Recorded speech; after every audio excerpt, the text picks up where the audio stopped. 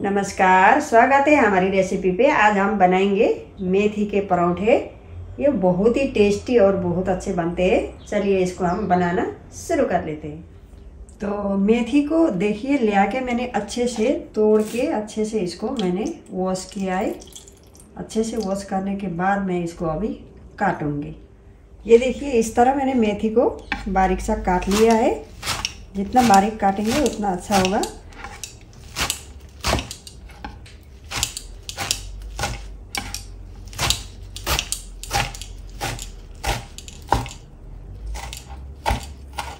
अभी हम इसको एक बर्तन में निकालेंगे, जिसमें हमें आटा बनाना है। अभी मैं इसमें आटा बना रही हूँ तो मैं सारा मेथी को इसमें डालूँगी।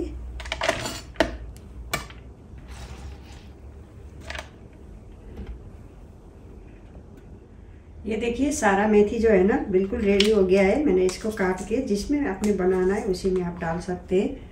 और हम डालेंगे इसमें तिल। ये वाइट तिल है। इसमें तिल डालेंगे तो सचमुच बहुत ही टेस्टी बनता है। और बहुत ही अच्छा लगता है। क्योंकि तिल जो खाना हमारे शरीर के लिए बहुत अच्छा है तो तिल हमें ज़रूर खाना चाहिए। और हाफ़ टी स्पून से भी कम थोड़ा सा चुटकी भर हम डालेंगे अजवैन अजवैन हमारे पेट के लिए बहुत अच्छा है तो अजवैन आप ज़रूर डालें।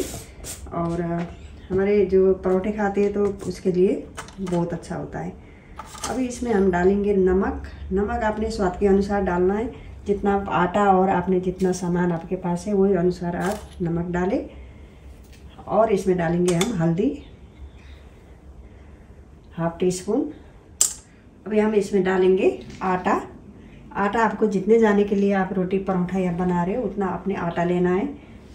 और अभी आटा डालने के बाद हम ऊपर से डालेंगे थोड़ा सा दही। दही डालेंगे तो बहुत नरम और बहुत ही अच्छे परोठे बनते हैं। दही जब बहुत ज़रूरी है। अभी हम इसको सबको मिक्स करेंगे पहले, क्योंकि इसमें जो हमने दही डाला है मेथी है, मेथी में पानी होता है तो इसीलिए पहले हम, पहले पानी नहीं डालेंगे। पूरे को मिक्स करेंगे इस तरह।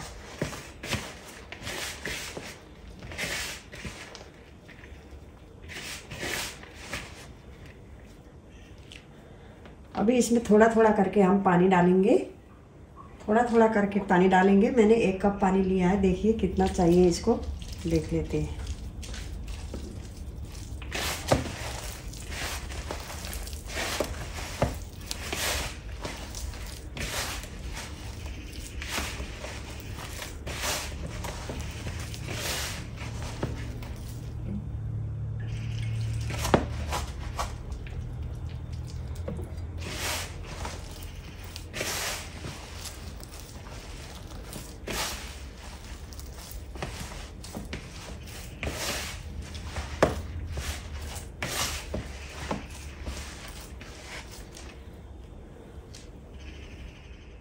ये देखिए, आटा जो है ना, बिल्कुल रेडी हो गया है और बहुत ही अच्छा लग रहा है। मैंने एक कप से थोड़ा सा पानी लिया था, इतना पानी बच गया है।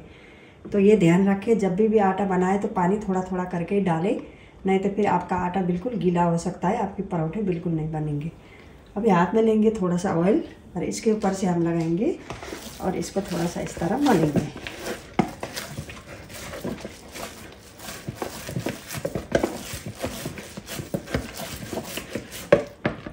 ये देखिए, कितना अच्छा आटा बन गया है ना। अभी हम दो तीन मिनट के लिए इसको ऐसे छोड़ देंगे, फिर हम इसके परोठे सेक लेंगे। तो इधर मैंने गैस में तवा चढ़ा दिया है। इसको मैंने गैस को ऑन कर दिया इसको गर्म होने के लिए छोड़ देते हैं उधर हम परोठे को बेल लेंगे। तो अभी हम इसमें परौठे बना लेंगे। थोड़ा सा आटा लिया है और हम थोड़ा सा लेंगे पेड़ा। थोड़ा इसको इस तरह करेंगे। आटे में लगाएँगे। और रख के इसको रोल करेंगे।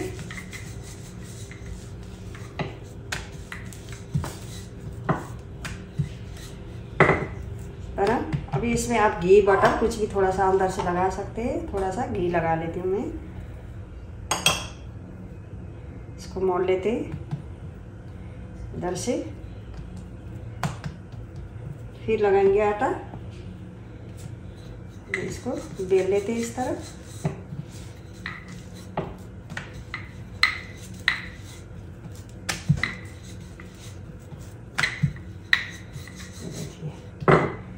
पराठा जो है ना ये बिल्कुल रेडी हो गया। तो अभी हम इसको डालेंगे तवा पे।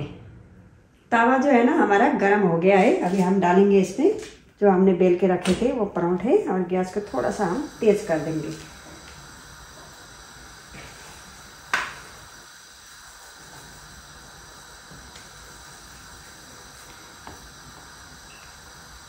इसको अभी पलट लेते ये देखिए, एक तरफ़ से परोठा है ना, पक गया है। अभी हम इसमें लगाएँगे घी या बटर, आप कुछ भी लगा सकते हैं। जो आपको पसंद है, वो आप लगाए। या फिर ऑयल भी आप लगा सकते हैं, वो आपकी मर्ज़ी है।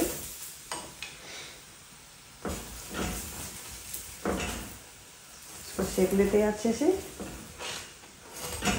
दूसरी तरफ़ से हम इसको सेकेंगे।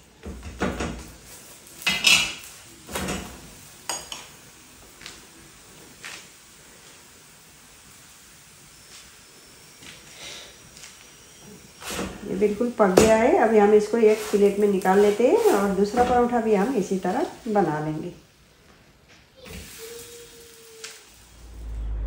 ये देखिए, सारे परोठे हैं ना, बन गए हैं इस तरह और ये बहुत ही सॉफ्ट और बहुत ही अच्छे हैं ये खाने के लिए। ये आप चाहे अचार के साथ लो या फिर आप ऐसे भी चाय के साथ खा लो।